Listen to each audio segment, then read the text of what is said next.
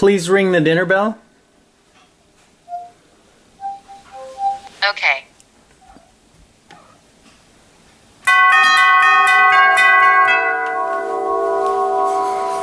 Why would I want to super modify my perfectly uh, good doorbell and make it part of the Internet of Things? Well, for one, it could send me an alert when someone pushed the button, or I can send it custom ringtones, especially um, one of the, the big applications is it's kind of centrally located and if our kids are upstairs running around, we could scream at the top of our lungs and they don't hear us, but they hear the doorbell. So we can send a custom jingle to the doorbell and they know that they're supposed to come. So it's basically works like a regular doorbell, but it sends data to my MQTT server um, whenever the button is pressed, and I can send uh, custom uh, jingles to it. So. So, test client.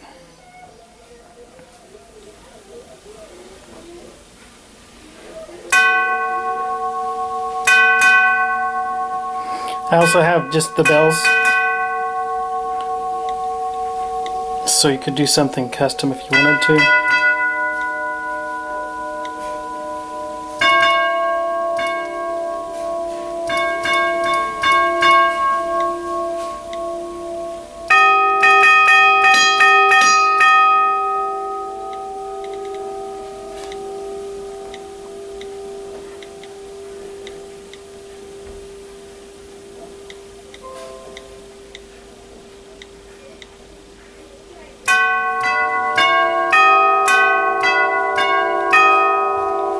For starters, I prototyped on the bench.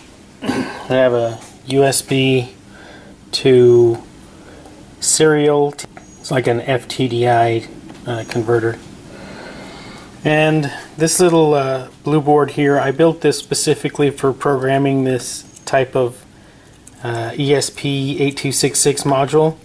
You snap it in there. A um, couple convenient things is when you're going to program, you have to disconnect the power, hold down to short out ground, uh, short out pin zero.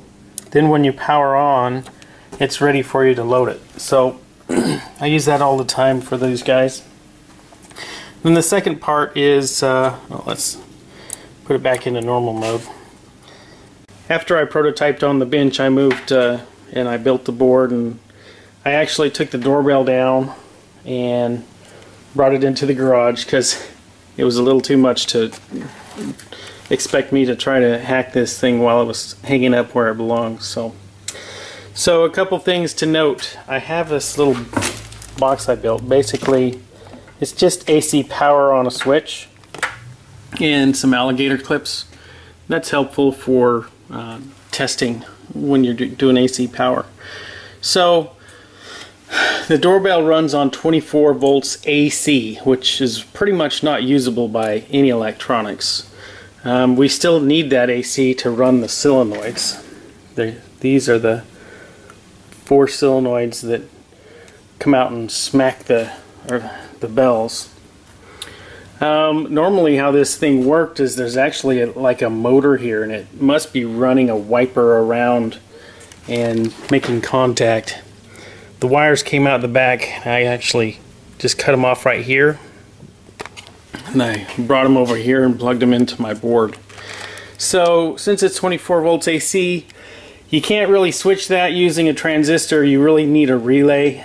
Um, so these are tiny little 5 volt uh, relays. Um, but you really don't want to power a relay directly from the, the sensitive I.O. from your microcontroller. So, microcontroller through a 10k resistor, they're all in there. So through a 10k resistor, uh, powers the transistors who can easily power the relays. Now the relays, whenever the coil energizes and the coil um, uh, unenergizes, can uh, induce some destructive um, interference and current on your power system. So, oh, by the way, it's just 5 volts.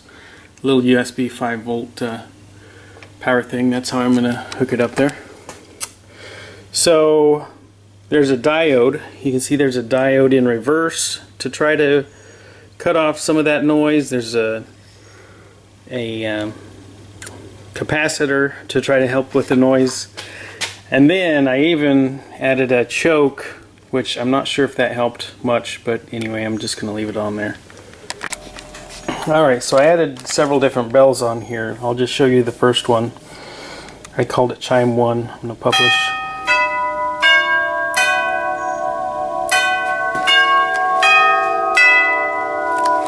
So basically for this demonstration, I've got I've got the regular doorbell hooked up, but this is the same exact code running in this one.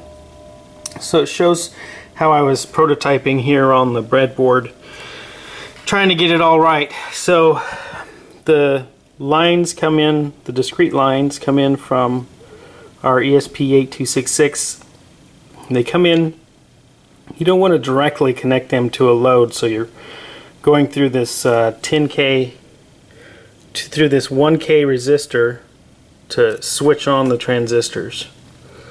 Um, the transistors are actually hooked to ground with all these green green wires because they like to so when the power comes into the base that current can go straight to ground unrestricted and that turns it on. So the part that gets switched is up here. So this is my load this is the LED that's going to show me that the transistor turned on I've got a little uh, resistor to uh, reduce the current of the light and then that's going over to the anode of the transistor.